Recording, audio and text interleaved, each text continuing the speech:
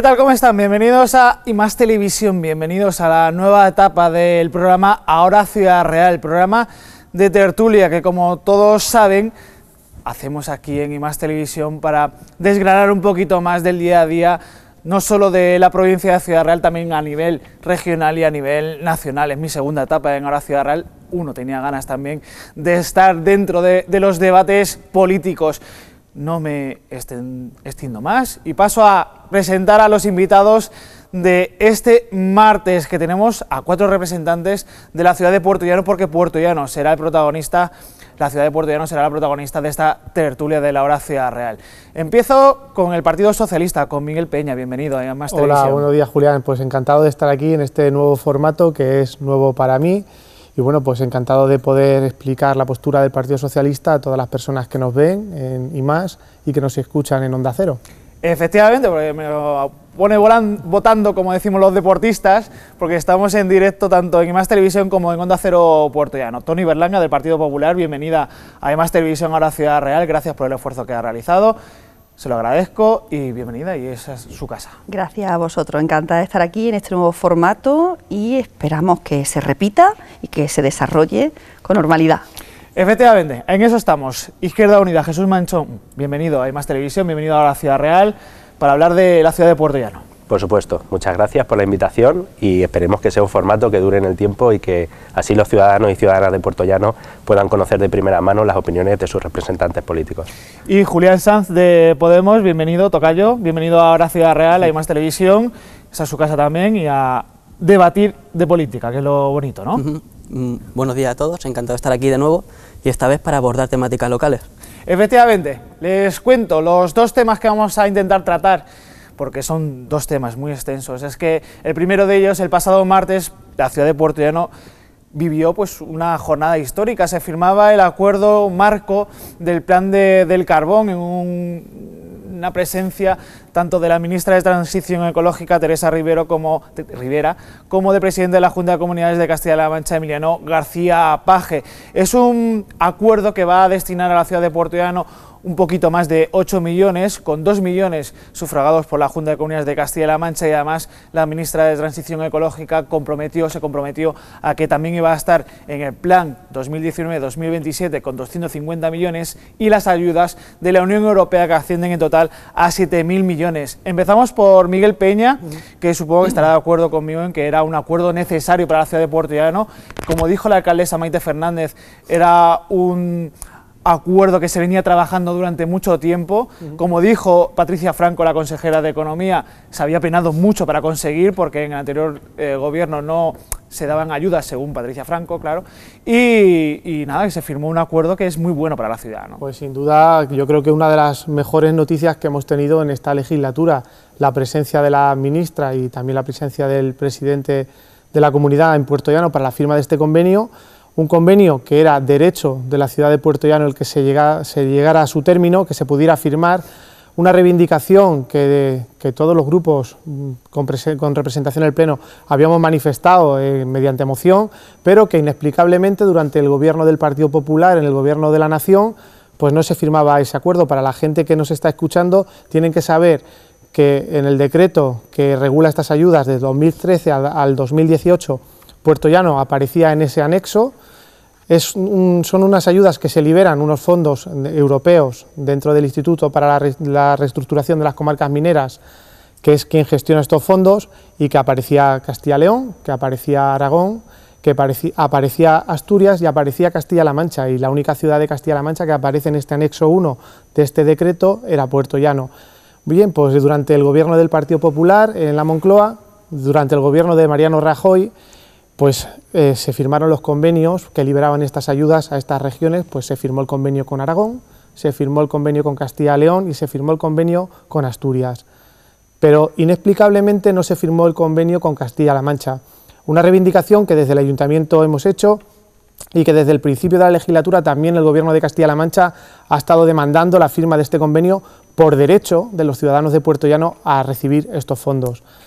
Es cierto que con el cambio de legislatura, con el cambio de, gobierno en la Moncloa, las conversaciones se pudieron restablecer. Bueno, eh, la, cuestión es que hasta el propio ministro siendo requerido por la diputada nacional del Partido Socialista en la provincia de Ciudad Real, Isabel Rodríguez, en el Pleno del Congreso, llegó a manifestarle a, la diputada que Puerto Llano no tenía derecho a recibir estas ayudas. Es tal el desconocimiento y la pinza que tiene el Partido Popular hacia Puerto Llano. Paso al Partido Popular, Miguel Peña. Tenemos tiempo para debatir. Tony Berlanga, por favor. Bueno, decir que, como bien decía Miguel, esta ayuda la recibe Castilla-León, la recibe Aragón y la recibe Asturias. Fíjate, y ellos se anclan en decir que hay un veto particular hacia Puerto Llano, hacia el Partido Socialista, por parte del gobierno de Mariano Rajoy. ¿Por qué si estas dos últimas comunidades son comunidades socialistas? Es que mm, el problema que tienen es que en su gestión ven continuamente fantasmas. Pueden ser ministros, puede ser el expresidente del gobierno, pueden ser jueces, puede ser cualquiera. El caso es que ven fantasmas cuando las cosas no se hacen bien. Por lo que sea, este convenio no se estaba haciendo en condiciones. El gobierno de Mariano Rajoy no tenía ningún tipo de veto a la ciudad de Puerto Llano. Nosotros, a la llegada de este convenio, nos congratulamos, pero también nos llama la atención una cosa. Si estaba todo tan bien hecho, ¿por qué se ha tardado seis meses en llegar a la firma? tengamos en cuenta que el plazo final era finales de diciembre, o sea, han hasta último momento para firmar este convenio o para incluir en un convenio en unas gestiones que, aunque digan, no estaban tan adelantadas, y eso lo sabe Emiliano García Paje. Ellos saben que la eh, las conversaciones que tenían no eran fluidas o no eran las pertinentes con el Ministerio porque con todos los restos de localidades, de comunidades, se ha firmado menos con Puerto Llano. No, no, no, señor. El Partido Popular no tiene ningún veto a Puerto Llano, sino que crean estos fantasmas para confundir a la población. ¿Este convenio se hubiera producido? Por supuesto que sí.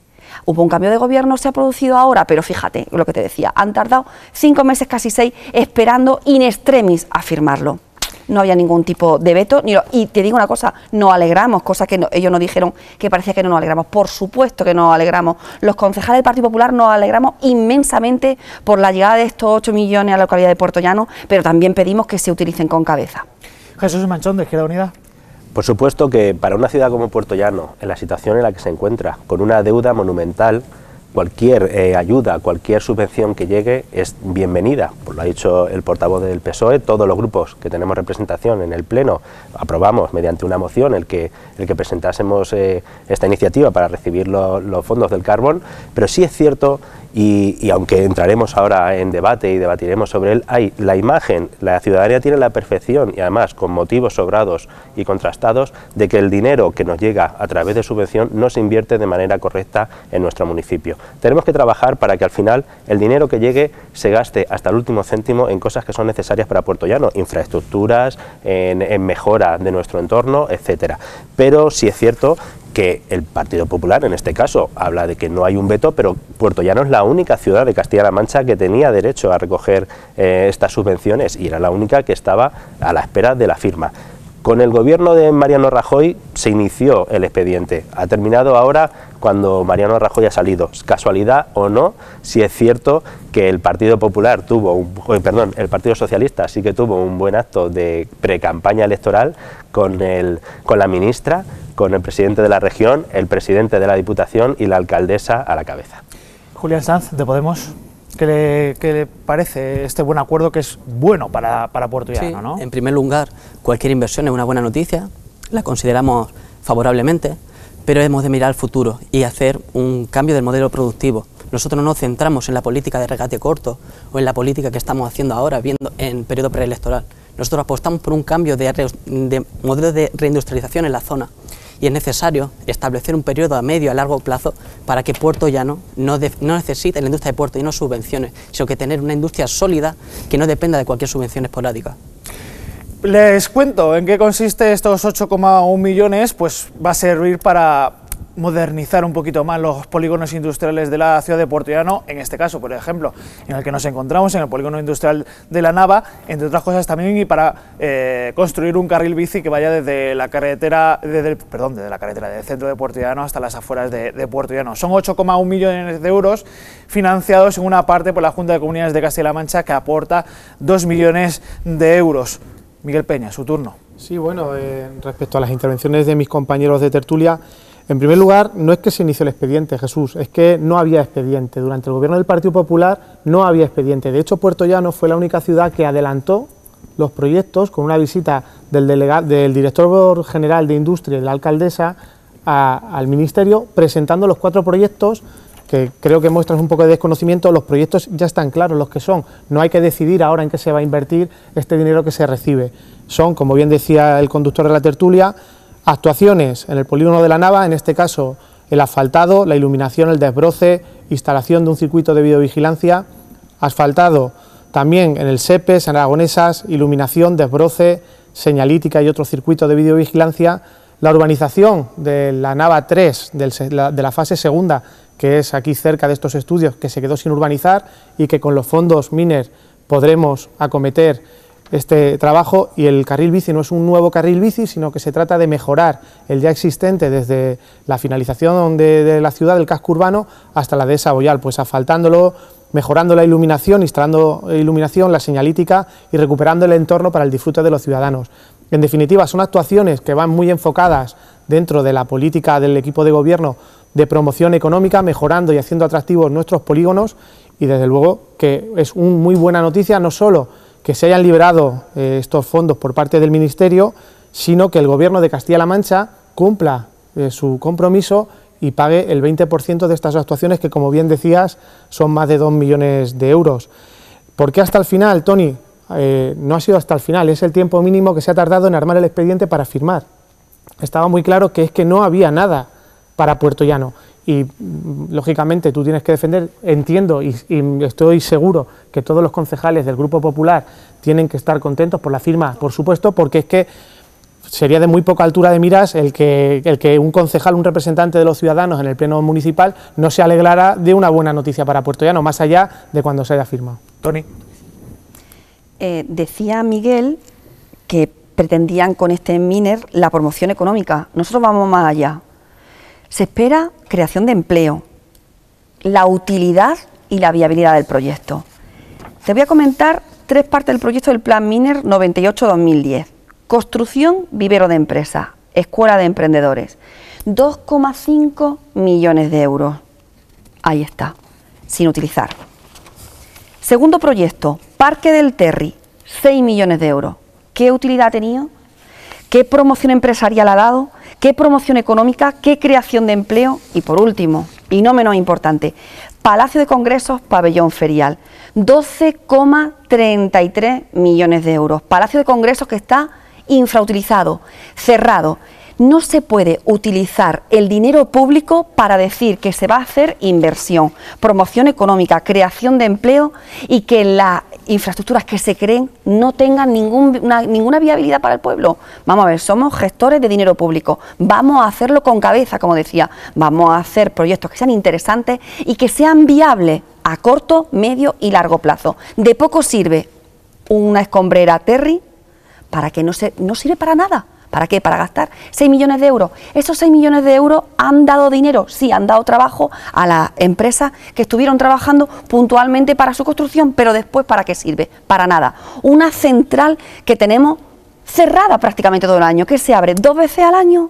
no más no más. ¿Por qué? Porque no se hacen los proyectos mirando la viabilidad, mirando el futuro, mirando que esa inversión tenga una utilidad pública. No se mira. Desde este gobierno se ha gestionado por hacer, pero sin mirar más allá del corto plazo y de lo que es la inversión en base a subvenciones. Y esa no puede ser el camino de la ciudad de Puerto Llano. No puede. Jesús Manchón. Sí, contestando a Miguel Peña, no es desconocimiento, porque yo estaba presente además cuando el concejal Carlos Mora empezó a traer eh, la posibilidad de que nos adhiriésemos a estas ayudas, a este, a este plan del carbón. Lo que yo me refiero es precisamente, y, como se anticipa en el turno la, la concejala del Partido Popular, es exactamente lo que acaba de decir. ¿Cuántas inversiones han llegado a Puerto Llano que han quedado infrautilizadas, que no se han valorado, que no se han utilizado o que el dinero, al fin y al cabo, la ciudadanía considera que se ha gastado, eh, o considera, y, y, lleva razón en este caso, que no se ha gastado como debía haberse gastado en las inversiones que se tenían que haber hecho? El Terry es la la punta de la pirámide de, toda, eh, estas, eh, de todas estas subvenciones, de todos estos gastos que vinieron a Puerto Llano, que no han generado realmente empleo. Cierto es que generan empleo en el momento en el que se construye, en el momento en el que se trabaja, pero después no ha traído empleo. Se vendió como una posibilidad de empleo por parte de la alcaldesa, da futuro, porque ahora mismo en Puerto Llano lo que tenemos es ese problema. El déficit es el empleo.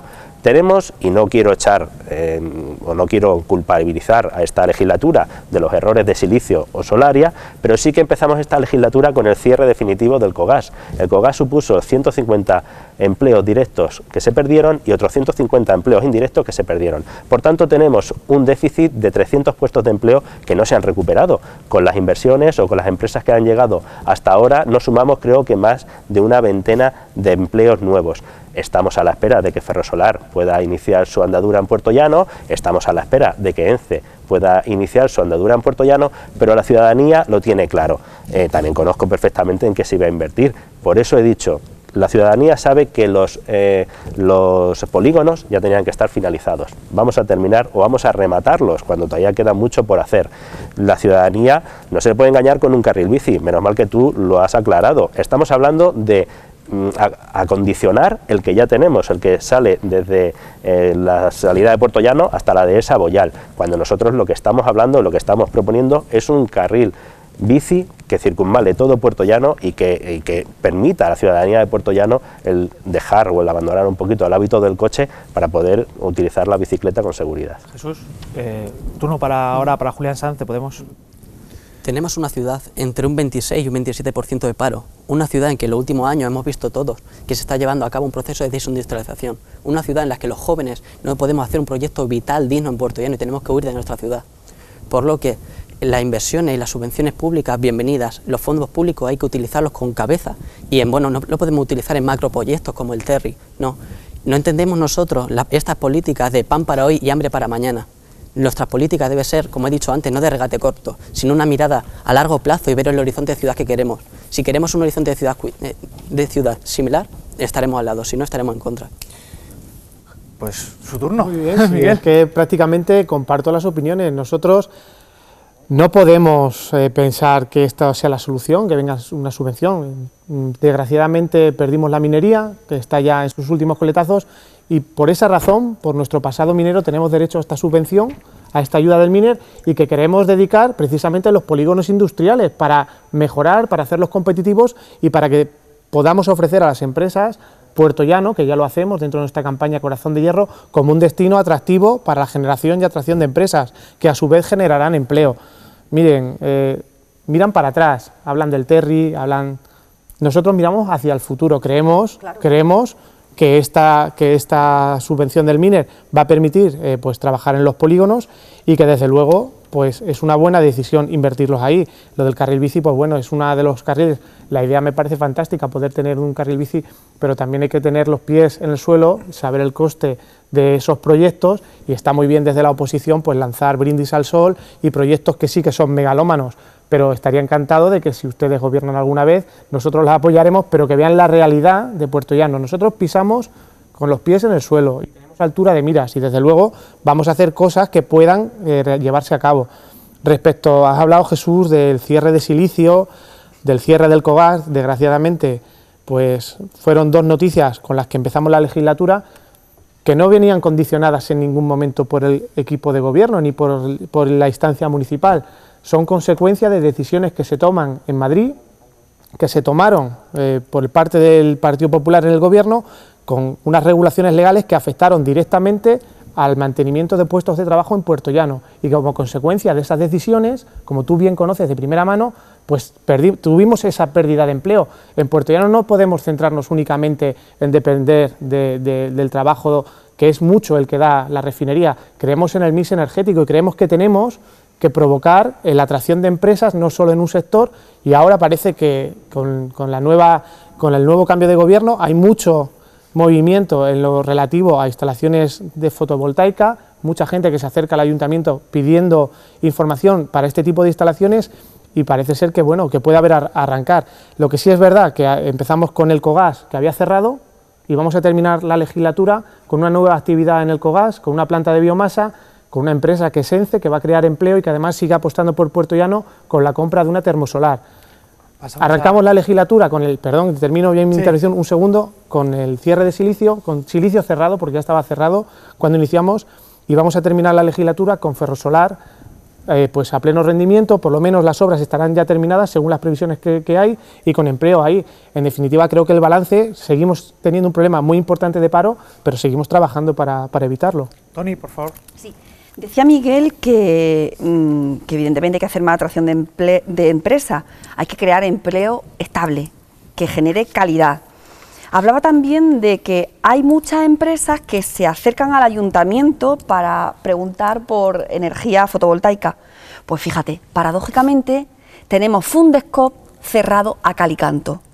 Tenemos Fundescop de manera que las empresas que necesiten información sobre el miner tienen que remitirse a Madrid y es desde Madrid desde donde le dan información de cómo hacer los proyectos. O sea, tenemos ahora mismo empresas en Puerto Llano que quieren recibir los fondos del MINER, empresas que para tener alguna vinculación con el MINER tienen que recurrir al MINER desde Madrid, porque en Puerto Llano Fundescop no hemos creado un nuevo pliego, la empresa MOAB terminó su, su, contrato con su vinculación contractual con el ayuntamiento y no se ha creado ninguna expectativa para que se siga explotando. O sea, por un lado estamos diciendo que vamos a crear que creemos, pero la base de la creación de empresas, la que han defendido ellos en toda la legislatura y que nosotros, por supuesto, hemos apoyado porque creemos que es fundamental la labor de apoyo que hace, la labor para la redacción de proyectos, para el seguimiento, para el crecimiento, que estaba en Fundescop, ha desaparecido por completo. Y ha desaparecido. que nos vamos a ir a publicidad. Eh, Jesús Manchón, por favor. No es un brindis al sol cuando hacemos propuestas. La verdad que es que acaba de llegar esta subvención y unos meses antes nos llegó EDUSI, donde también está programado eso. Estamos hablando de cumplir con nuestros programas electorales porque creo que todos los grupos lo llevamos en el programa. Al final, y no quiero tampoco eh, centralizar el debate en un carril bici sí o no, estamos hablando de adecuar o de mejorar un carril que ya existe. Entonces no estamos tampoco haciendo una inversión a futuro, ni estamos haciendo atractivo nada. Estamos hablando de mejorar unos polígonos que ya tenían que estar acabados, que ya tenían que ser atractivos, porque estamos hablando de que este polígono en el año 2005 ya contaban con las empresas de las energías renovables, ya hablaban de solaria y de silicio. Por tanto, bueno, el Partido Socialista hace muy bien eh, vendiendo algo que ha venido a Puerto Llano y de lo que nos alegramos, pero bueno, hay que poner los pies en el suelo y recordar de dónde venimos. Julián, por favor. Reforma laboral de Zapatero, reforma laboral de Rajoy. No sé si es que yo llevo poco en política, pero me chirría que representantes del Partido Socialista y del Partido Popular hablan de, hablen de empleo digno y estable, cuando la situación que tenemos a raíz de las dos últimas reformas laborales es vergonzosa. Tenemos un empleo cada vez más precario y cada vez de peor calidad. Que ahora ustedes me hablen de empleo digno y empleo estable, pues me chirre un poco. Pues esto ha sido la primera parte de Ahora Ciudad Real. Estamos en directo, como saben, en Más Televisión en Onda Cero Porteano. Hacemos una pequeña pausa para la publicidad y volvemos enseguida aquí en Más Televisión y Onda Cero. Hasta ahora.